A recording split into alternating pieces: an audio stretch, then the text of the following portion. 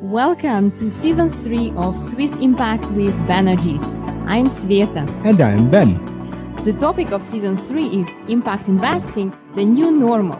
Do you also want to do something meaningful for our planet and people or invest with impact? Then our amazing and powerful guests who are business owners, heads of financial institutions, thought leaders, political leaders, policymakers, investors, and experts.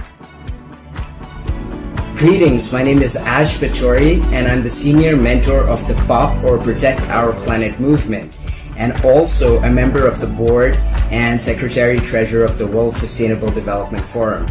Our primary goal is to mobilize the 1.8 billion youth of the world to urgently address the issue of climate change and take action to protect our planet. This will inspire you to get engaged. And in this season, we will challenge them even more to take actions towards sustainable development goals to enable paradigm shifts in the financial sector and way of doing business.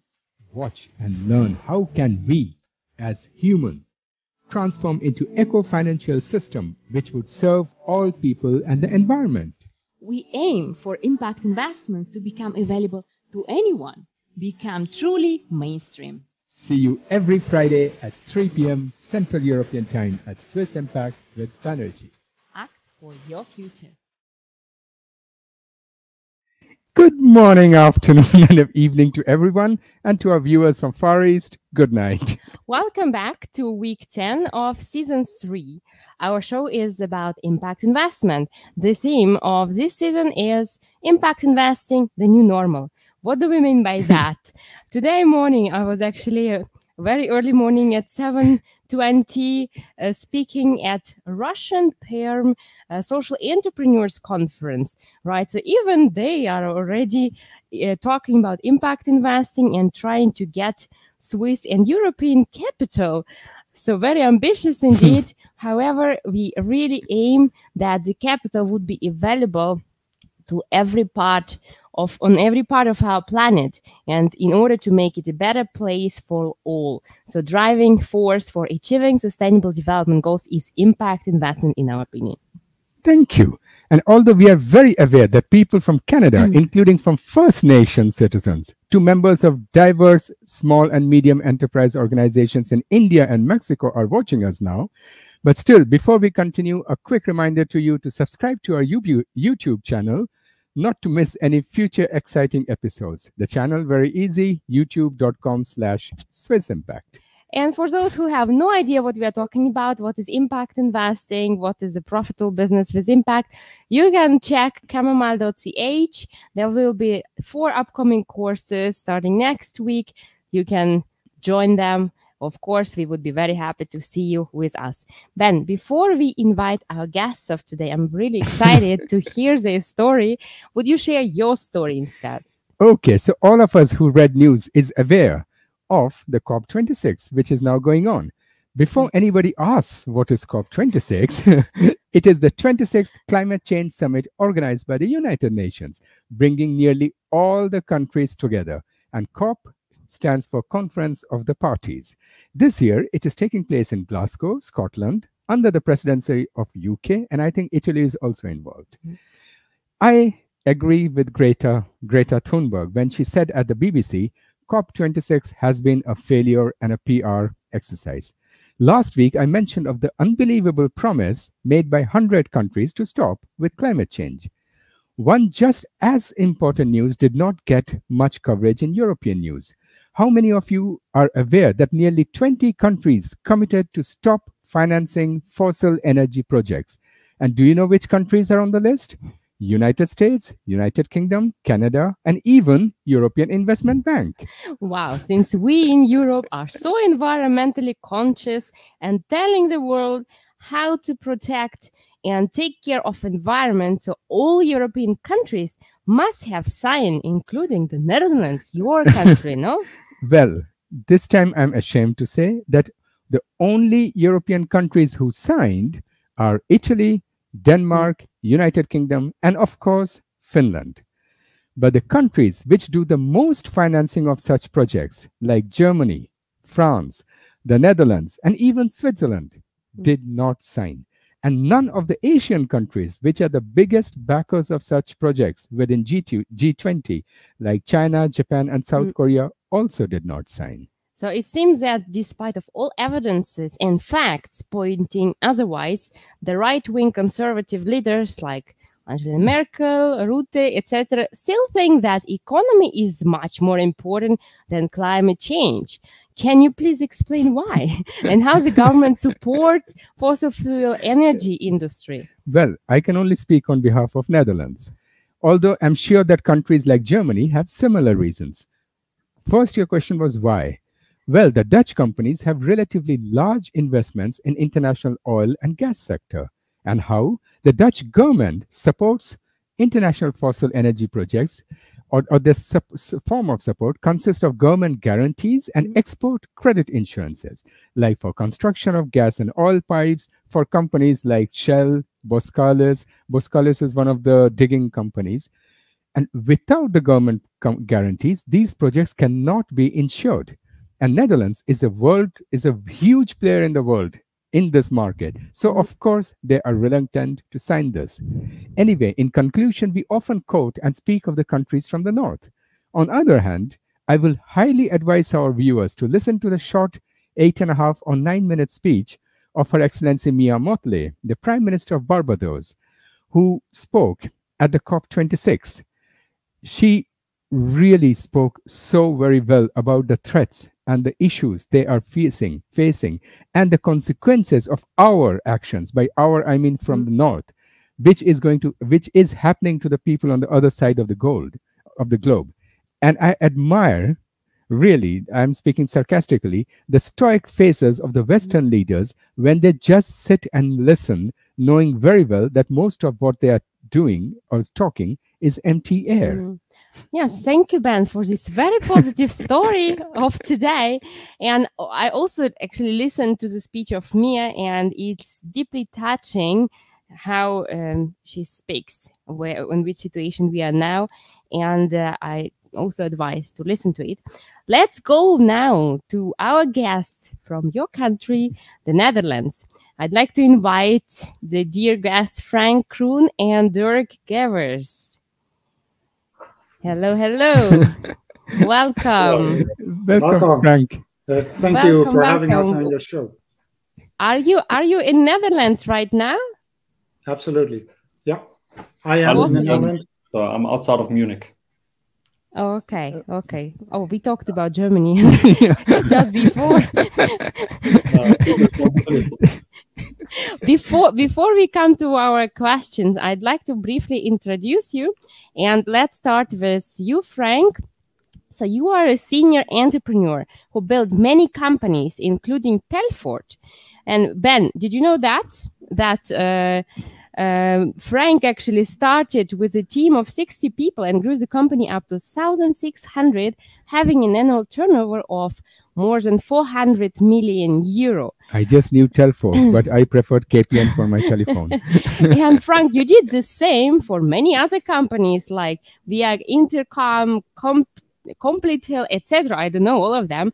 And also, you did such projects um, like Westpac, BT, and of course, the Dutch tax office. I'm You- very curious whether he worked at the Dutch tax office before all the problems started or after the problems. We can ask him later on. you worked around the globe before starting BeMup in 2018 with the vision to deliver the most comfortable and efficient mobility service available. So you have three kids, by the uh, by the way, on the side, and amazing wife. You live in Leiden, one of Ben's favorite city, and students hanging out place. Yeah, I used to be a student member there, but it's a long time ago. Oh, yeah. Now to you, Dir- Dirck. Yes. Um, so you come from South Africa, where you started your mechanical engineering career at the South African Power Utility and later at Unilever Margarine Factory. Wow, that's an interesting. and you know, Unilever is uh, also promoting themselves as very sustainable company, and at various factories of B- BMW. At BMW, you manage the department that is responsible for the complete body quality of all global product launches. And of course, your amazing experience internationally proved your organizational skills, leadership values, and it drives to build something new to the team all the time. you love to do sports, play the trombone, and learn new skills. Currently in cryptocurrencies, like your brother Johan, an old friend of Ben. Yeah. okay, you live outside of Munich, as you said, with your amazing wife and children, three children as well. And the golden retriever. exactly. And- and- yeah. And about your company Beam Me Up. we will hear from you just now. So let's start with your business, impactful business. So, Frank, Derek, welcome again. And can you please introduce yourself in a way what I still didn't say? And what has been your motivation to start this venture? And, Yeah. and being a Trekkie myself, I love the name Beam Me Up. Why hmm. did you forget Scotty? Scotty will be with us later, uh, so uh, we have plans for that, but we'll incorporate that uh, in a little while. Take some time, but we'll get there. Mind this space. So I got uh, fascinated by mobility about 30 years ago. I was visiting in Thailand um, and didn't have a car there, but I got around with the red back, red cap uh, system in Chiang Mai, which was a perfect system, very efficient, uh, dirt cheap, and it got me anywhere I wanted to go in a fair amount of time. So I was I've always been figuring out how to get that to Western Europe uh, at some sort of Mhm. time. So I since then I developed a lot of large service providers. Uh, I got engaged with all latest IT developments, including data science and machine learning solutions. And I now think we have all the components available to implement an advanced form of that uh, shared mobility in Western Europe and uh, scale that up um, and do that in a sustainable way so that basically everybody benefits. So that was my main motivation to start Beam Me Up and uh, building it from there. What about you, Dirck? My motivation um, for for becoming co-founder of of Beam Me Up uh, really has two roots, and, and one of them is I grew up in South Africa on a farm, and my father used to plant crops, and we would be dependent on the rain. We would be dependent on the weather. So I learned very early on uh, to appreciate the nature and to look after nature and to, to develop a, sense not only for plants but for animals and everything that has to do with in nature and and how delicate the balance is that we need to keep. Also, my passion for engineering and technology uh, started on the farm because we always had machines that which sometimes were broken and needed to, to be repaired. Uh, so that um, kind of laid one uh, ground stone for me. The other one is I spent the last 20 years working at BMW in Munich and internationally. And BMW has, has been one of the leaders in um, electric mobility with the i3 and the i8. So sustainability has been in, in the DNA of, of BMW for a long time. So this is something that grew on me. And I've always loved cars and I've always loved mobility. So combining these two uh, for me was the perfect opportunity uh, to join Beam Me Up and, and to, to really build something that is impactful, uh, that can really make a difference to the environment, and at the same time deliver a fantastic service to, uh, to customers around the world. Mhm. Can one or both of you describe what is the offering of BeMup, the company that uh, you're building? Right. So let's start with uh, our objective of making an impact. We're taking that seriously. So making an impact in mobility means we have to scale up to mass volumes. And how can we scale up to mass volumes? Is by providing an excellent mobility service. It needs to be top notch for every individual user. So what we are delivering is instantly available. It's as fast as a dedicated car, but much cheaper. So we will drive you to your destination always, 24 by 7.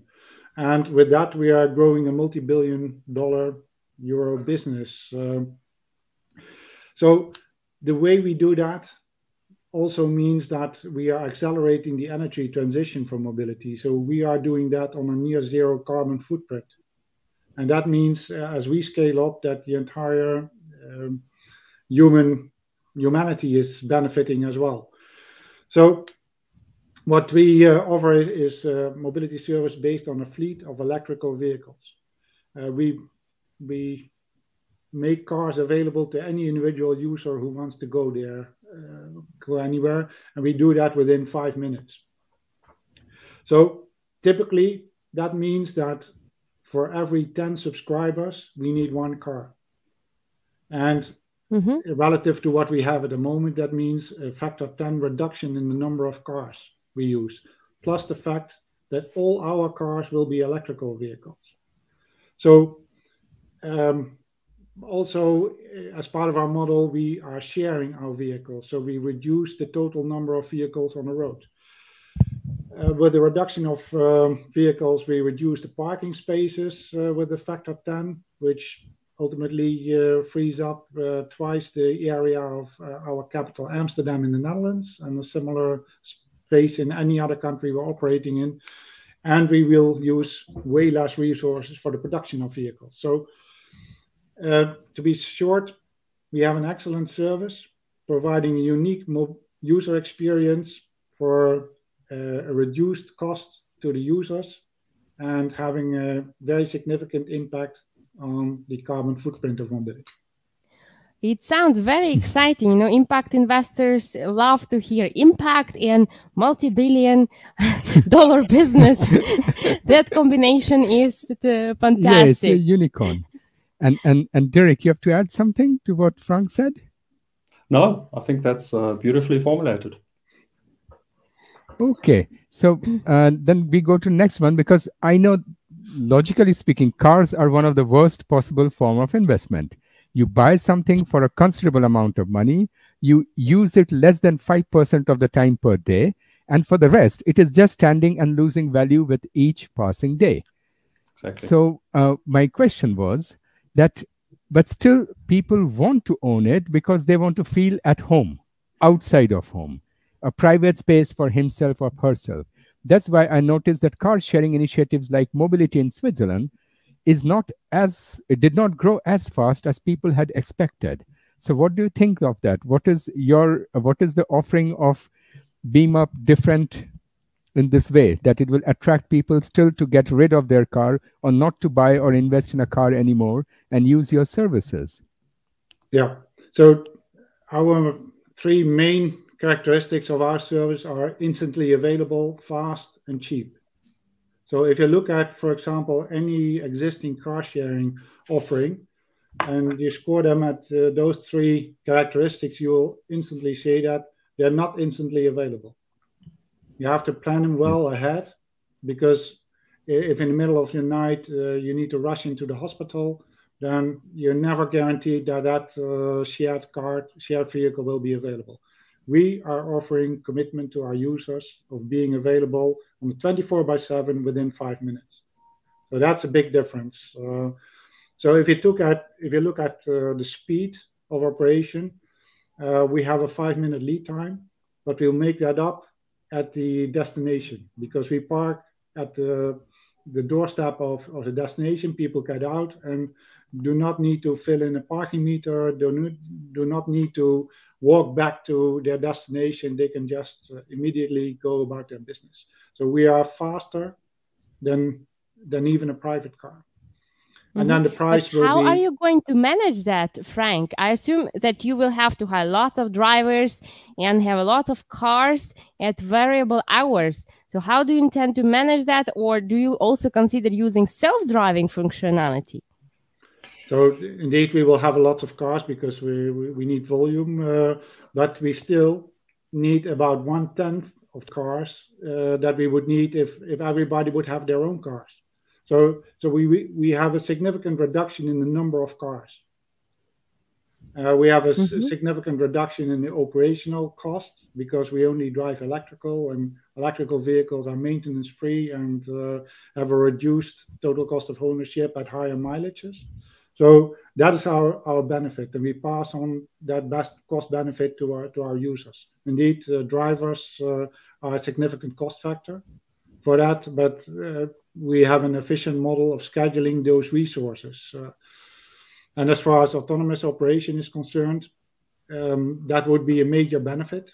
But we are not basing our model on, on autonomous vehicles. Uh, so mm-hmm. um, we have a profitable model as of the start.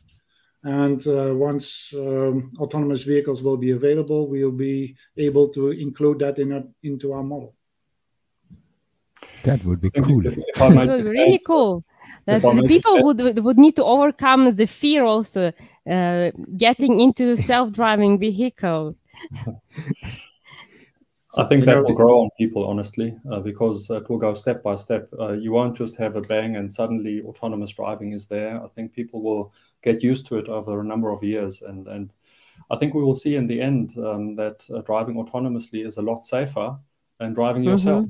And um, yeah. most people don't like to admit this, but uh, most people are not very good drivers, and and the autonomously driven That's... cars will be a lot safer. Yeah. Mm-hmm. I, I, just a couple of weeks back I drove to Netherlands and on the way what you said is completely true. I saw so many people who don't deserve to be on the highway to be in the car in the first place. and you so, were driving largely autonomously or didn't you? No, no, no. My, we are not allowed to. I mean, I have a Tesla, but we are not allowed to use the self-driving functionality yet as far as I know. Mm-hmm. So what uh, I think what you said is that what I like very much about your story that your cars are all electric, especially and especially Tesla, and mm-hmm. all of us love Tesla. So you will be contributing very strongly to the CO2 emission reduction. And do mm-hmm. you have numbers to show how much?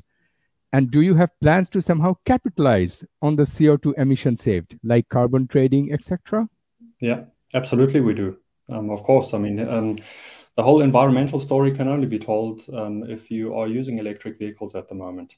Hydrogen powered may come at some point in the future, but we have to be pragmatic. We are building a business, so we need to use what is available now. And electric um, uh, um, motors are the best at the moment.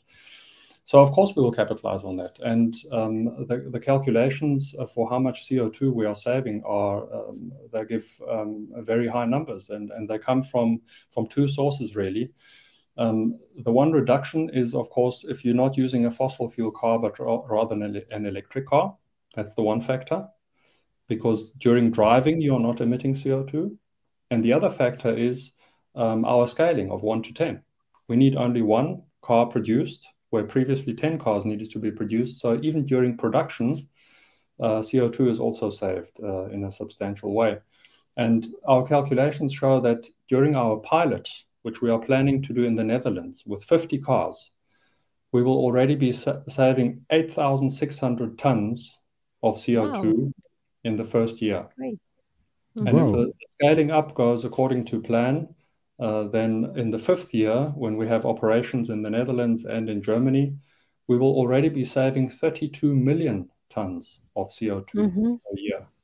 So I think these are these are really big numbers, which the public maybe can cannot really understand yet because we're not used to talking about millions of tons of CO2, and these numbers mm-hmm. all yeah. sound very big. But um, that is a substantial um, contribution. Yeah. That but, when you mention 800, how much did you say? 806,000? 8,600 tons. 8,600 tons. What is the total? Do you have the number of what is the total amount of CO2 being emitted by cars in Netherlands at this moment?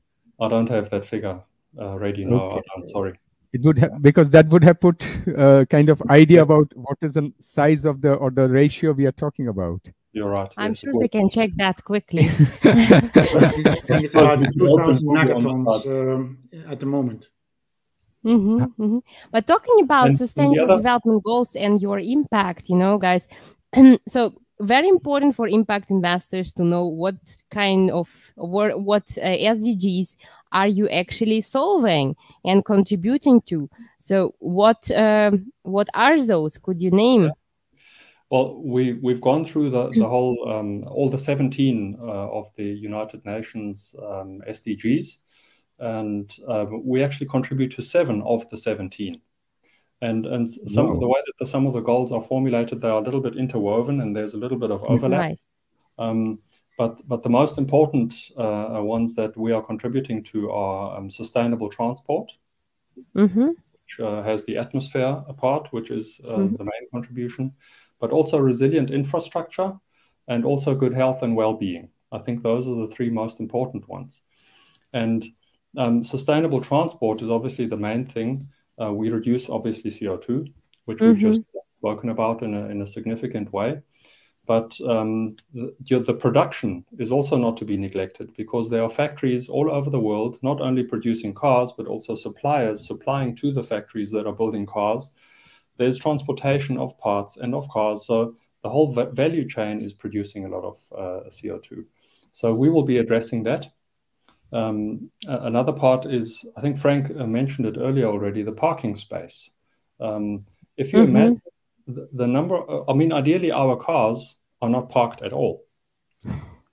So if everybody in the world in Switzerland, it would be very good. You know, the parking is bloody expensive here. Yeah. Oh, usually Netherlands is just as bad. Amsterdam, Utrecht is a disaster. Yeah, yeah, terrible. And so ideally, we don't need any parking spaces anymore. Ideally, our, our cars will pick you up from your door, deliver you to uh, your destination, and not need to be parked because it then will, it will be driving on to, to pick up the next customer, which means the, the surface area, um, which in Germany would be the size of, of Munich, or is it twice the size of Munich? I've forgotten. But anyway, it's a substantial space, will become free. This space mm-hmm. does not need to be tarred anymore or covered with, with cement. It can be free. Mm-hmm. We can plant trees. We can we can mm. you know build parks. So we can even uh, you know um, uh, rededicate um, parking houses to residential space. Uh, which wow. brings me to, to the mm-hmm. next uh, point about good health and well-being. Because our model is based on chauffeur-driven cars, people don't need to drive themselves anymore, and mm-hmm. um, which means on average in, in Europe, people spend 300 hours per year just sitting at the wheel looking at other traffic. 300 hours. If you convert with not happy faces you know. In no. nice cars but it's with very um, long faces. Well, and if you convert those 300 hours per year to working time that's almost two months of working time and hmm. you know how many books you can read or how many FaceTime calls you you can make with your beloved ones if if you don't have to pay attention to the road anymore, but but rather you have free time. So we are convinced that um, uh, good health and well-being is is uh, one major impact that uh, that we will improve, and and the, and the other thing is the offer we will make will be cheaper.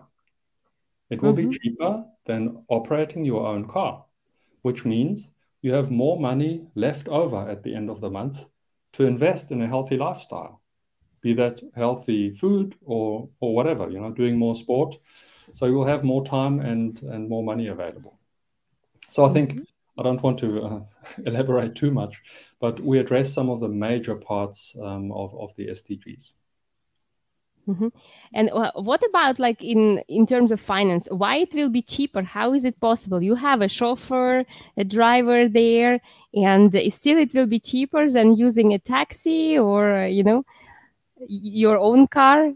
But uh, I mean, are you also calculating that how much uh, say for example you take a village or you take a town like leiden are you also calculating how many estimated percentage of the population of leiden will be using your service? And also if they use your service how many kilometers per year will each of them be using? Are you making models and yeah. calculating on that? Absolutely. Absolutely. So what, what we do is um, we assume we have a certain minimum number of subscribers for each of the cities uh, in order to make our model work. So we need a minimum number of vehicles in order to guarantee our five minutes lead time mm-hmm. and our continuous continuous availability as long as we are past that minimum threshold we can just grow with the number of subscribers on a ratio of 1 to 8 1 to 10 so Leiden, it doesn't matter how many people ultimately will sign up for the service, because with the increasing numbers of subscribers, we will just increase our fleet and increase our uh, mm-hmm. our operation uh, and and just maintain the quality. Uh, so, mm-hmm.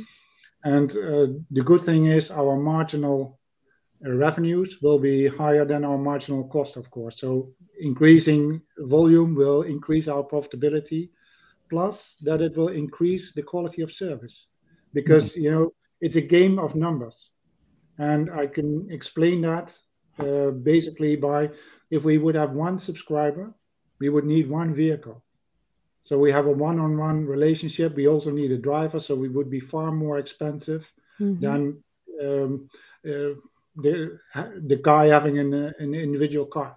So if we have ten subscribers, we could get away with five cars or so.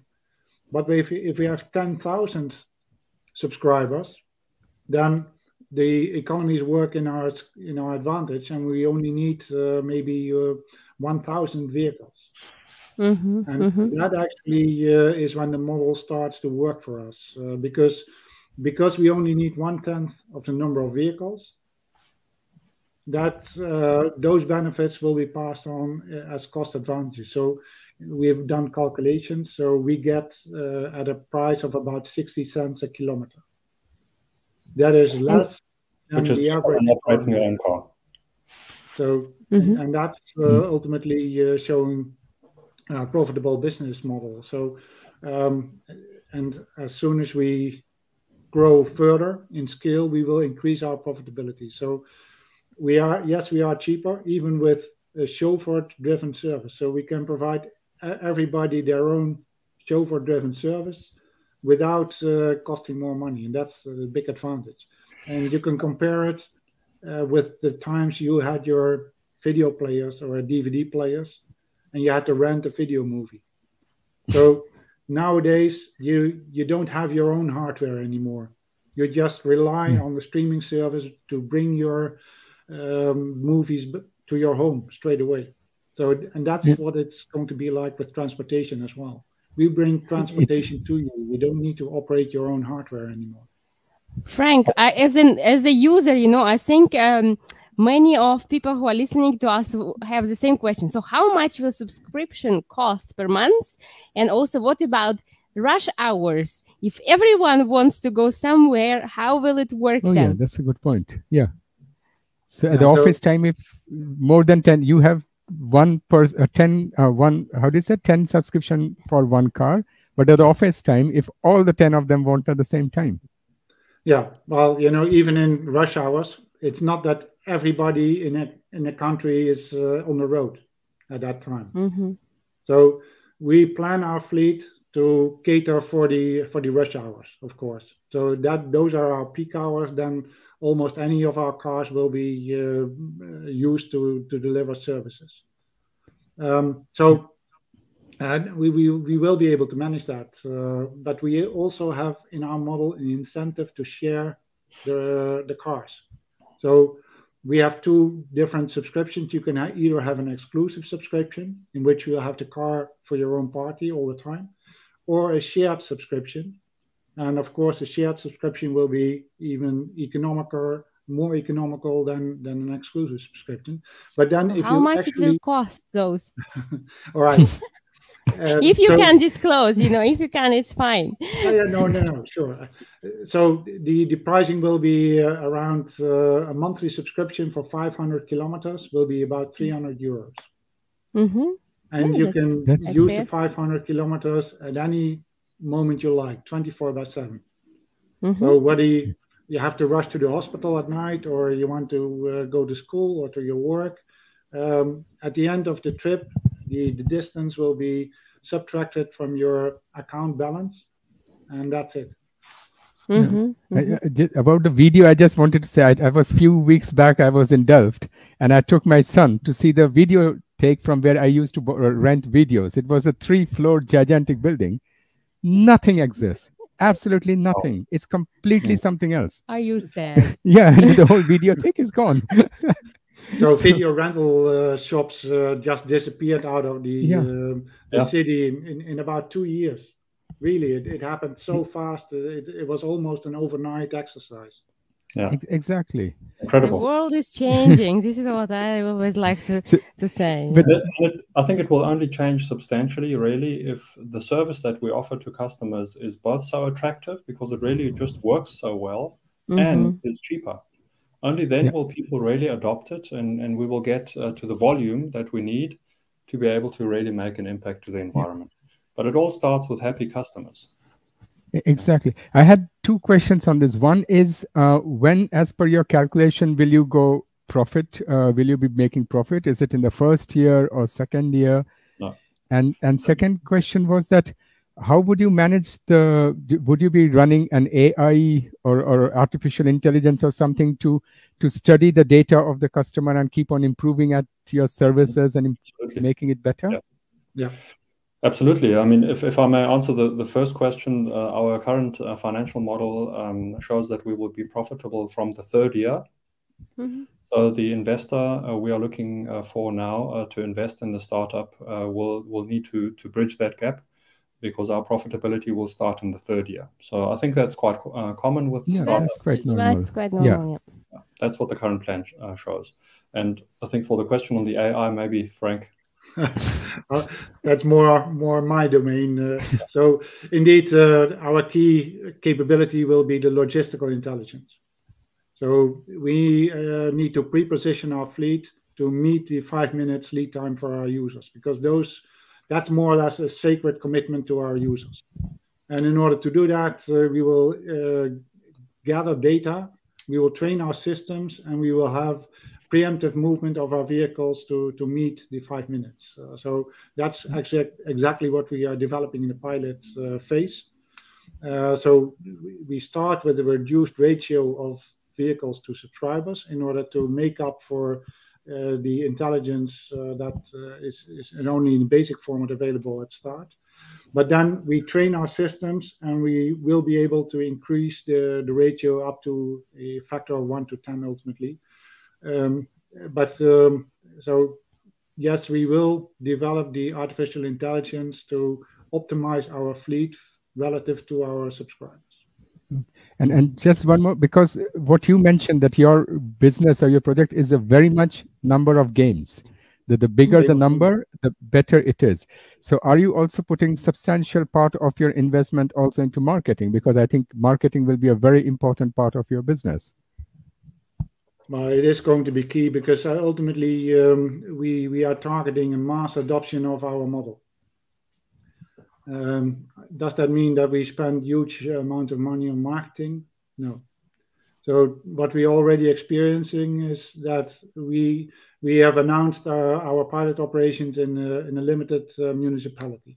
So we're getting uh, requirements or requests uh, for service from neighboring municipalities, from other um, regions in the Netherlands. So we are already um, entering wait lists for other regions. And uh, so ultimately, um, we might have the same model as uh, the introduction of Gmail, which was such an improvement over uh, other existing messaging services that everybody wanted to get a, a Gmail mailbox. And um, Mm-hmm. so if we get to that situation, then uh, it, it will be largely a pull from uh, from the crowd on, on incentivizing or driving the regions where we are going to roll out. And so a limited marketing experience, but uh, we, we will have the number of subscribers uh, at the start of operation in our region. So uh, that's the advantage of our model because we have subscription based revenue. Uh, as long as we have a minimum number of subscribers in the region, we can start already profitable in uh, the rollout phase. Okay. Mhm. That sounds great, guys. Really exciting. Uh, and I would love to be in that municipality to try that out. He's completely in the north of Netherlands. There's only five people living there.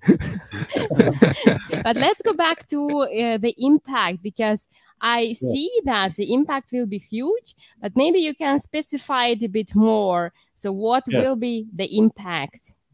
I think uh, uh, one one topic um, of the SDGs that, uh, that that we skipped earlier on was uh, the resilient infrastructure, and I'd just like to Mhm. get back to that point because that's so important to me. If if you operate your own car today, and it breaks down, you're stranded. If you're sitting in a train which breaks down, you have hundreds of people stranded. Whereas in our model, if one of our cars breaks down, another one will come. Mhm. So we are far more resilient. This this network effect that we are striving for is far more resilient than any other form of transport. So this is why we really believe um, that we have a compelling offer, uh, which will, you know, not only improve uh, climate and CO2 and all these things, but also just be more resilient to uh, to you know to disturb, mm-hmm. which will in, in, in the end effect mean when people want to get to work, they actually do get to work, uh, and you know the whole society becomes uh, more resilient. So I think that's very important. But your question was um, I think going in the direction of how do we measure the impact? Um, yeah, exactly. What will be the impact measurement methodology, and uh, how regularly are you going to report on that? Well, uh, the reporting uh, we haven't quite structured yet, but ob- the obvious things that we will measure is how many kilometers did we actually travel, and how does that uh, convert into uh, the tonnage of, of CO2 that, that we have saved? Mm-hmm. That's one measurement uh, that we will obviously monitor to monitor to uh, to report on the quality of our service. Um, the the other very important uh, measurement to us is the number of minutes to pick up time, mm-hmm. because that's ultimately what the customer is interested in. If the customer uses his app and says, "I want a ride," how many minutes does it take for us to arrive at his doorstep and pick him up? That's crucial because, as I said earlier, it, we will only reach mass adoption if we have happy customers. And the minutes until pickup time are a, a key metric uh, for us uh, to, to determine how happy our customers are, in line or, uh, or in addition, of course, to the usual uh, ways of, of determining uh, customer satisfaction. And um, another metric uh, that we are thinking of introducing is the parking space conversion. So um, we'd love to offer this opportunity or, or, even maybe a challenge to the municipalities to report uh, once we've established our service in their municipality, mm-hmm. how many parking spaces have they uh, been able to convert to green, beautiful spaces? Uh, how many years it will take to get some numbers like that? Because it's more long-term impact, I would say. It's not uh, reachable in one year. Well, the, the plan is um, to start with uh, with one municipality, obviously in the, the pilot uh, year, and then to scale up to two municipalities. But after that, once we've proven that our system works, uh, to then have a very fast scale up, and, and mm-hmm. to, to, not only uh, reach, um, uh, you know, covering the whole of the Netherlands, but also to spread to other countries. So yes, the, the scale up is planned to be very steep um, after the first, say, two years. So it will take eight years to get to a full nationwide coverage uh, in any country. So we have a sort of a rollout factory uh, in establishing operation in all the uh, municipalities, uh, which um, typically are about 400 in the country. Um, and each cell will be the same activities uh, for, for setting up. So eight years until full coverage and until we uh, reach 20 megatons of uh, CO2 reduction yeah. in each car, or at least in but, the Netherlands. I, I just thought about something. I thought if you're living in a small village in the north of Netherlands, is and your car, but suddenly somebody gets in there and says, "I want to go to Maastricht." Yeah, ultimately, you will take that. Yes. So when we have nationwide coverage, uh, doesn't matter where you want to go, we will take mm-hmm. you all the way uh, to where you want to go. So it's 250 kilometers. Okay. Um, I mean, that's why you have the subscription. You, you can take that for any trip you like. Okay. And because the charge will be more or less, uh, say, re um, distributed um, based on uh, on the demand anyway. So, exactly. so in 10 years you go uh, with the chauffeur to netherlands to your country exactly yes. even but wouldn't it, uh, but wouldn't it take the car but I was just thinking, wouldn't it take the car out? So you have like 10 cars for the village in the north of Holland, but then suddenly somebody says, I want to go to Maastricht. So for four or five hours, that car disappears. It's off your. Mm. Yeah, and, and another car will be going into that village from oh, okay. maybe Hilversum or, uh, or Utrecht. Uh, so ultimately, uh, that will balance out. And, and uh, if there is some unbalance, we will mm-hmm. Uh, preemptively might um, move the vehicles to where they need to be. So sure. that has been scientifically modeled. I will spare you yeah. the details, but we expect to have about 8% of our mileage due to the preemptive position of, of the vehicles that we need to do. Yeah. So yes, we need to reposition some empty vehicles, but it will be very limited uh, relative to uh, to what we do at the moment. Exactly. No, I remember because I studied electrical engineering at TU Delft, and we have 21 floor building, and one floor was only about traffic studies. Yeah. So there, there were professors who are doing research on how to calculate the traffic, and to preempt it, and to think forward. And it's a whole department who is only focused, and I'm talking about 30 years no 20 not that old. 20 years back or something. And so it is i know it is an extremely complicated uh, logistics model that you have to kind of control and play with it yeah absolutely it, it's uh, it's it's very advanced mathematics uh, data science uh, so uh, yeah th- that's uh, econometrists typically as well in, in that domain so we need very we need a specialist to, to develop these solutions mm-hmm. But you know, the good news is we have developed more or less similar solutions for other domains. So we understand how to do that. So and it doesn't matter whether it was tax fraud schemes or uh, say mobile technology uh, for for roaming uh, optimization. So uh, we've done that before, and I'm sure we can do that for mobility as well. I think, Ben, your, your point is very important. Um, 20 years ago, you had a whole floor of the university dedicated to, uh, to traffic studies. And, and the question always comes why is the timing right now the best timing to start this business? And I think it's also because um, much of the technology has evolved, has evolved so much mm-hmm, over the last 20 mm-hmm. years. Artificial intelligence, uh, all these kind of uh, technologies are now available and make it possible to model such complex uh, systems. So yes, the timing is right now. Exactly. Absolutely, absolutely. No, really, uh, I would love to see something like that also in Switzerland. Anyway, let's go to impact and opportunity because uh, we know a little bit where do you stand now, but it would be great to really, if you could say very clearly, where do you stand right now? What's your status? And BeMup is not yet fully operational, or is it? And do you have already partners, clients who subscribed or who will subscribe once you start your operations? Where do you stand, guys, right now? Yeah, so for the last uh, three years, we've developed our software platforms. The, so those are fully uh, available. So the apps are in the app stores. Uh, the backend is uh, fully functional. The payment systems are in place. Uh, so that, that's all done. Uh, we we have an agreement with the municipalities for our pilots. We have an agreement with Tesla to um, to provide the vehicles for our services, and we have the blueprints for our operations. So everything is in place, uh, but um, the finances for our pilots. So we are currently uh, raising uh, for for those pilots to start with pilots of 50 vehicles each, um, in the Netherlands uh, and in Germany. And as, uh, as, soon as we have that, uh, we plan to start operation in the April May next year timeframe. How much are you fundraising, Frank? So we are looking for five to ten million uh, in, on the initial raise. Mm-hmm, mm-hmm.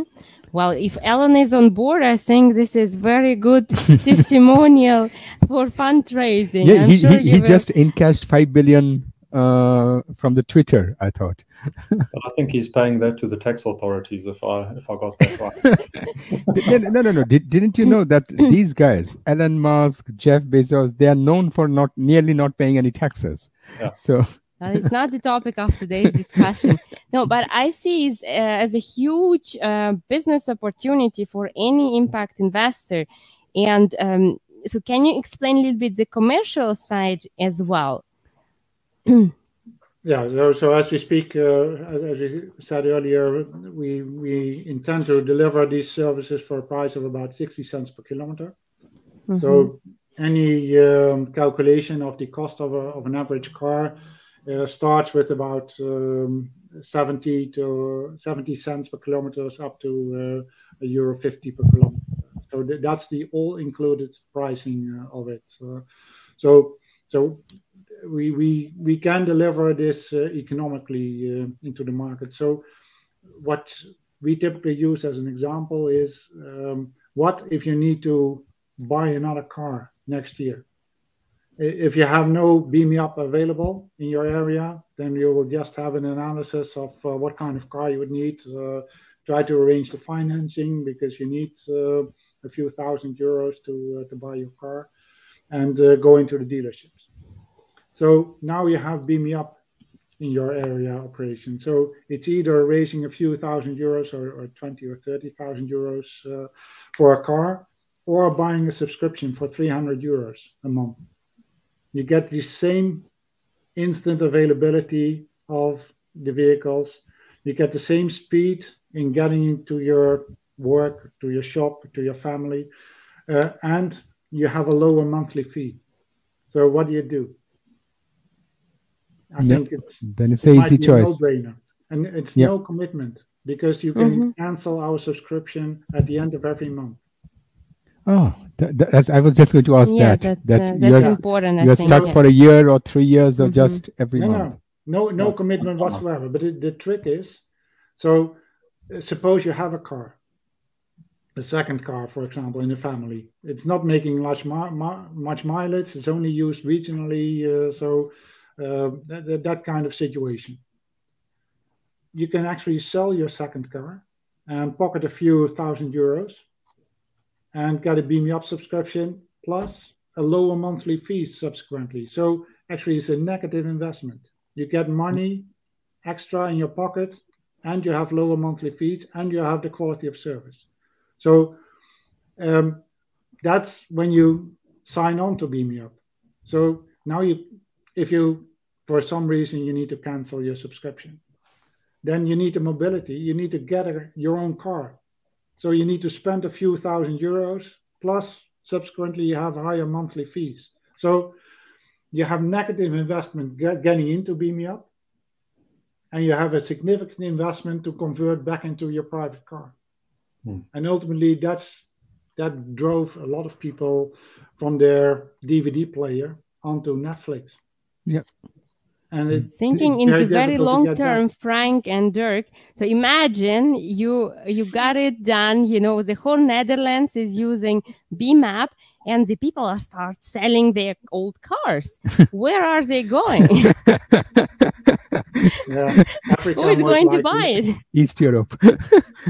Eastern europe indeed uh, so that that's going to happen so the, the, the second, the, the market for used cars will just collapse.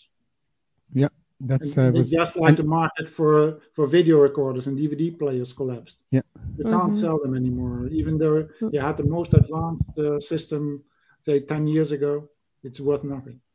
Mm-hmm. But to the advantage of car owners now, we have the export. So Africa, yeah. Eastern Europe, uh, South America. Exactly. And and are you only seeking investment or are you also seeking support with business development or seeking partners or penetration into new markets? Like, for example, I was thinking when you were talking, I was thinking in Europe, we are already saturated with cars. But there are countries which still are not saturated with cars. And if they get saturated with cars, then we are all doomed. Countries like China, India, Indonesia. Are you also thinking about that scale or you are still only here and maybe in 10 years or 15 years. Good thinking man. Uh, i like that uh, because indeed uh, this model should not be limited to the netherlands and germany or switzerland. It could go anywhere.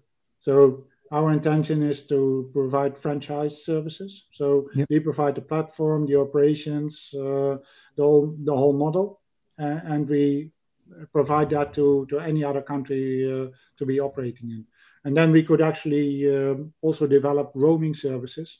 So you have your local uh, subscription in Switzerland.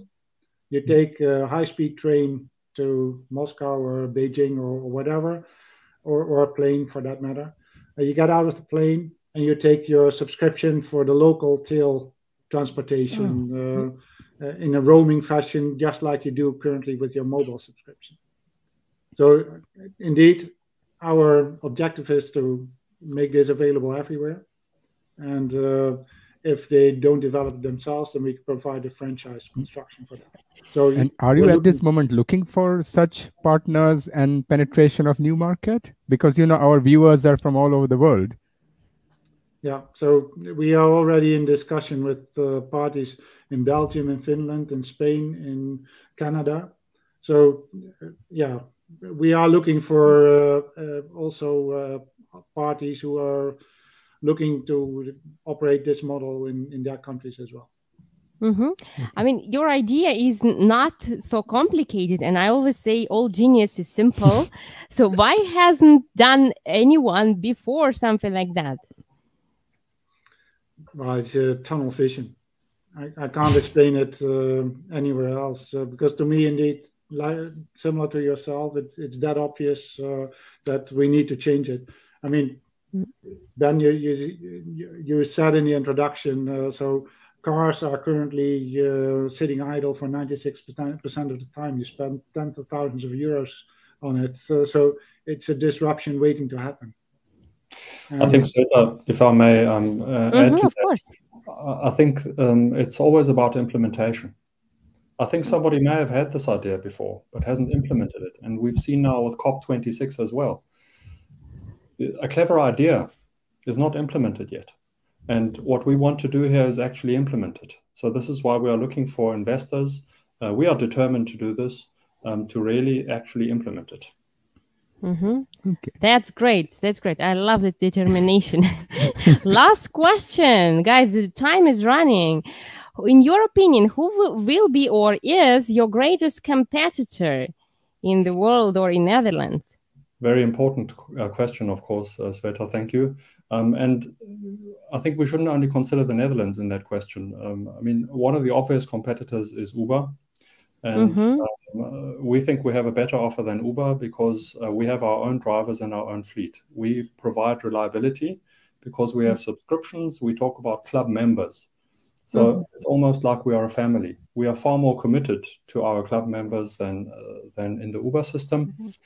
Um, we're also better than the car sharing, like like Share Now, uh, because our club members don't need to walk into the street somewhere to find a car, and yeah. when they return, to find a parking space somewhere in the street. Uh, so we think we are better than car sharing offers. Um, public transport, I mean, how convenient is that, and how long does that take? So we are better than public transport, and we are cheaper than taxi. So the real competitor is not any one of those. The real competitor is the private car, your car. Mm-hmm. That's the competitor. And um, I think the, the, the convincing that we are doing now in, in telling the story is, is to make it clear to people that um, operating their own car is actually the nuisance. And if they come to BeMup, it would be so much better. Mm-hmm. I think you need a strong story that people would not be kind of ashamed saying, I have no car, you know. That's why I also found the story of Frank very good when he said you can sell off your second car and use that as, yeah. Mm-hmm. So it's, so um, yeah, we are coming to the end. Yes, we want um, call to quickly. action. Can you save, uh, Dirck? We start with you because till now we have always started with Frank. What would be your call to action to all our viewers? Well, I think I think the call to action is uh, there are two things, and and I'll just deal with the the customer part. I would just like to uh, to call on all customers out there to really think about how big of a nuisance it is uh, to operate your own car at this point. Taking it to the cleaners, to the maintenance, to tire changes, and all of this, it actually is a nuisance and it is expensive. And I'd like you to think about this how you can not only have a far more convenient service, than all, but also a service that is far cheaper. So consider BeMup. Join us on our road to making the world a better place. Thank you very much, awesome. Dirck. and Frank?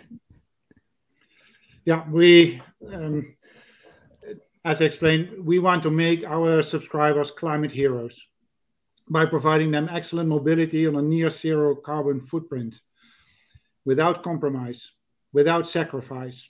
Being a climate hero, hero never was so comfortable. In order to deliver that, we need a few superheroes who will provide the finances to get us off the ground. And like our subscribing heroes, the financing heroes will find the trip with us very rewarding. Let's go. Thank you. I very love it. Let's go. Thank you very much. Thank you, boss, for joining us today. It was really amazing discussion, and we wish you all lots of success with the project. I'm sure we will know how it uh, went. And uh, as a little thank you, we will offer you a membership on Camomile. Just uh, register, and we will upgrade it. Thank you very, very much for joining us. And Uh, thank, thank you, you very us. much for giving us the opportunity to um, share our vision with you and uh, happy to be on this event. Absolutely. Sure, we, we are looking for the right in Netherlands. If we go there, I would love to visit this municipality, the Th- first th- one. There's only five people and 10 cows there. It doesn't matter. Now we'd love to come to Switzerland uh, as soon as possible as well. So uh, hope to meet you there. That would be perfect. Thank you very Thank much. Thank you, Frank. Thanks, Dirck. All right. Bye Bye bye. bye. Have a good day.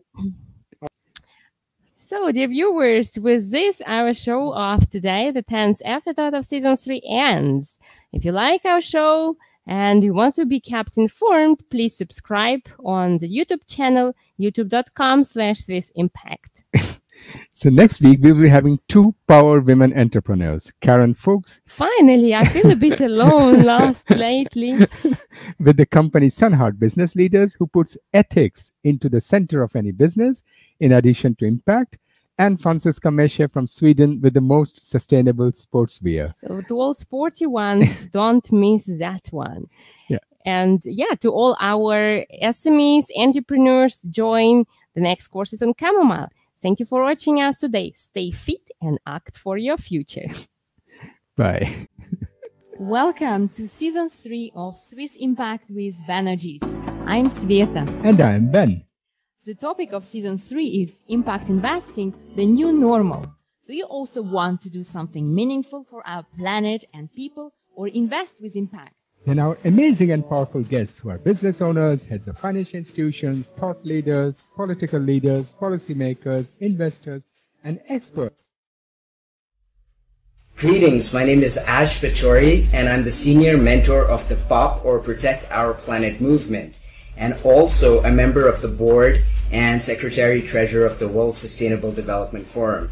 Our primary goal is to mobilize the 1.8 billion youth of the world to urgently address the issue of climate change and take action to protect our planet. This will inspire you to get engaged. And in this season, we will challenge them even more to take actions towards sustainable development goals to enable paradigm shifts in the financial sector and way of doing business.